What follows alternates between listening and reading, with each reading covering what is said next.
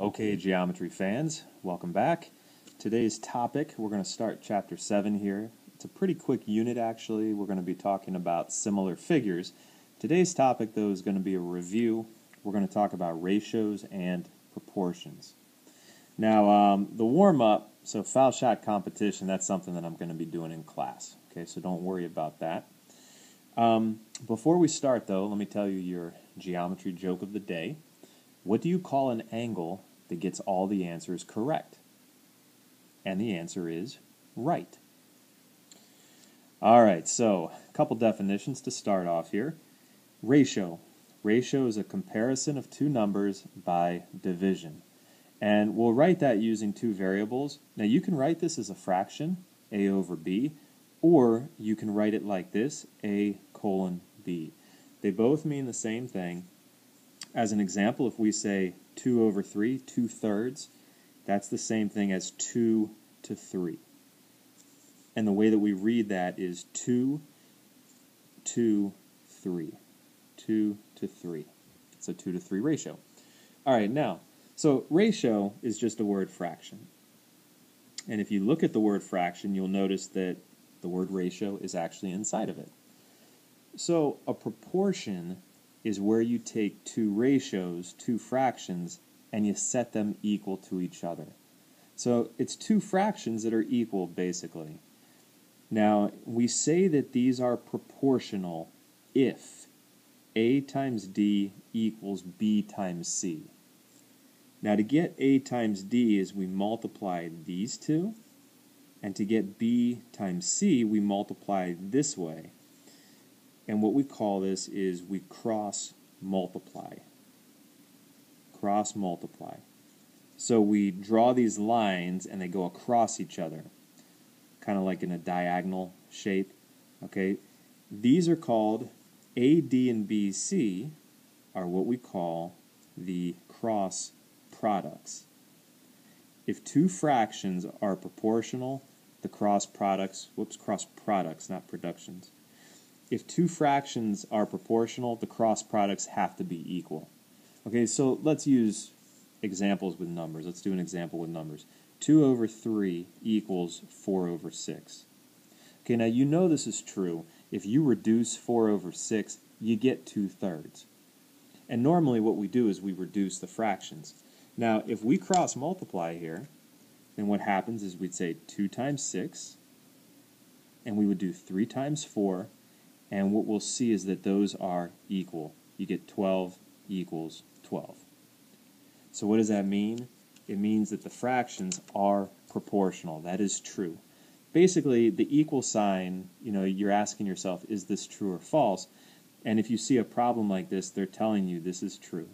So we would say 2 thirds is proportional to 4 over 6. They're the same ratio, they just look a little bit different. Now, one of the cool things about proportions is that there's a lot of different ways to set them up.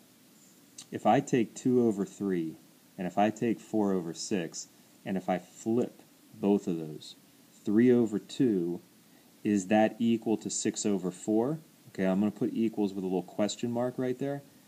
Is that still proportional? And look at what happens. 3 times 4 is 12, 2 times 6 is 12, so the answer is yes. You can flip the fraction and that's still going to be the case. The proportion will hold. Now, there's a little bit more vocabulary here. When you do your cross multiplying, the A and the D are what we call the extremes, the B and the C are what we call the means. And that's not something that you're going to get asked a whole lot, but that's just something to be aware of. All right, so let's look at some examples where we actually solve these. So we'll do uh, 2 over 18 equals 9 over y. The way you solve a proportion is you cross multiply.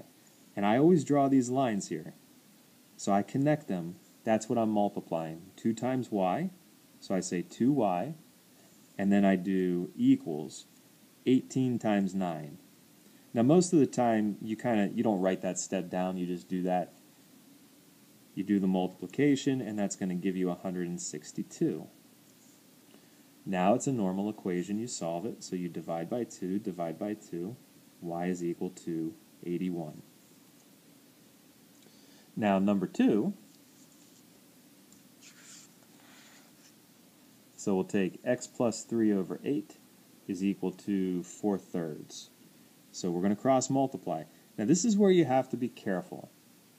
This 3 is multiplying not just the 3 but all of this, x plus 3. So I'm going to write 3 and then parentheses x plus 3 equals 8 times 4, which is 32. So what happens is you have to distribute. That's 3 times x, which is 3x, and then 3 times 3 is positive 9 equals 32. And then we'll solve it. We'll go minus 9 on both sides.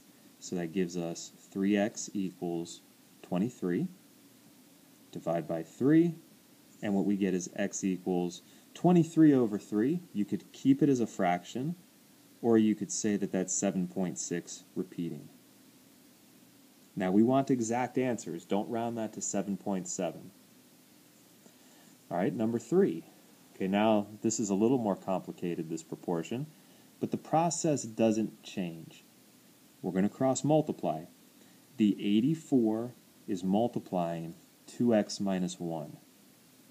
So I've got to put that 2x minus 1 in parentheses. 84 is multiplying all of it. And then we have 138 times x plus 2 in parentheses. So now you distribute. 84 times 2x is 168x. 84 times minus 1 is negative 84. 138 times x is 138x. 138 times 2 is 276. And remember, I have to put an equal sign here. This is a, like a left side and a right side. They're the same. All right, so now we'll solve it. Let's move the variables onto the same side. Let's go minus 138x minus 138x. So that gives us 30x minus 84 equals 276 plus 84 plus 84. That gives us 30x equals 360. And then you divide by 30, x is equal to 12. So that works out, whoops, that works out a little bit nicer. Now, if you're not sure that that's really the answer, well, let's take the calculator. If I take, let me do 2x minus 1, so 2 times 12, I'll use parentheses, 2 times 12 minus 1 is 23, and then the denominator was 12 plus 2, which is 14. 23 divided by 14 is a decimal, 1.6428. How about 138 divided by 84? Does that give us the same thing? Yes, it does. What does that tell us about the equation? It tells us that this is true. All right, now let's look at a word problem here. We'll look at a couple word problems. Number four. The angles of a triangle are in a 2 to 5 to 8 ratio. What's the measure of each angle? Well, 2 to 5 to 8 if I were to double this, if I were to multiply each of these by 2 times 2 times 2 times 2, that would give us 4, 10, and 16. This is still a 2 to 5 to 8 ratio because I could divide these by 2 and it gives me this original ratio. Now we're going to use that because instead of 2 to 5 to 8, let me think of this. If I'm going to draw a triangle here. Now I know that the angles cannot be 2, 5, and 8. That doesn't add up to 180. But if I say 2x to 5x to 8x, now they all have the same, they all have the same x here. I could divide out the x and I still have 2 to 5 to 8. So what I can do is add these up, 2x plus 5x plus 8x, they add up to 180. Now we get uh, 7 plus 8 is 15x equals 180. Divide by 15, x is 12. All right, so we got 12 again. Now the question is, what's the measure of each angle? So let's go back to the picture here and let's plug in a 12 for all these x's. So we would have 2 times x. So 2 times 12 is 24 degrees. we'd have 8 times x. 8 times 12 is 96 degrees. And then we would have 5 times x. So 5 times 12 is 60 degrees. So the three angles are 24, 96, and 60. And if I take that, let's go ahead and add those up here. 24 plus 96 plus 60, does that equal 180? And the answer is yes. Okay, so the answer is good. Let's do one more here on the front. On a map, 1.5 centimeters represents 200 miles. How many miles does 2.4 centimeters represent? Well, when you are comparing values like this, you're making a comparison, let's go ahead and make a proportion. A proportion has four pieces. A numerator and a denominator on the left, a numerator and a denominator on the right. Now, what we want to do is fill these numbers in and solve for the missing piece. So they tell us 1.5 centimeters, so I'm going to put 1.5 on the top, represents 200 miles. So I got 1.5 centimeters equals, well, not equals, but goes with 200 miles. So I'm doing centimeters over miles. The key thing with a proportion is you have to compare each ratio the same way. You have to set it up the same way. If this ratio here is centimeters over miles, then this one has to be centimeters on top, miles on the bottom. I have to set it up the same way. So how many miles does 2.4 centimeters represent? So 2.4 centimeters is on top.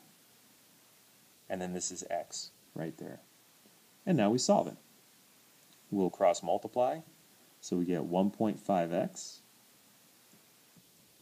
equals 200 times 2.4. Let's see here. 200 times 2.4 gives us 480. So 1.5x equals 480. Divide by 1.5. So we get x equals 480 divided by 1.5 and we get 320. So x is equal to 320, and that's miles. Okay, I want to be consistent with that. That's 320 miles. Okay, flip it on the back, which currently is blank, but we're going to put one more example on here. Okay, we'll do this. Do a real quick example. Um, let's say we have something like this and we'll call this A, B, C, D, and E. And let's go ahead, we'll say that uh, AD is 3, that CD is 6, AE is 4, EB is 12, and, um, excuse me, EB is 8, we'll make that 8, and then we'll say that DE is 5, and CB is 15. If I say, what's the ratio of AE to AB? AE to AB. Well, we could say the length of AE is 4. I'm going to write it as a fraction. And the length of AB, now AB is the whole thing here. To get the whole segment, we have to add the two parts. So 4 plus 8 is 12 and we always reduce, so your answer is one third. That's the ratio of AE to AB. If I said what's the ratio of, let's say, DE to CB, like that, well, DE is 5, CB is 15. Okay, so we're just matching it up, and that reduces to one third, which is the same thing. And that's all we're doing with ratios.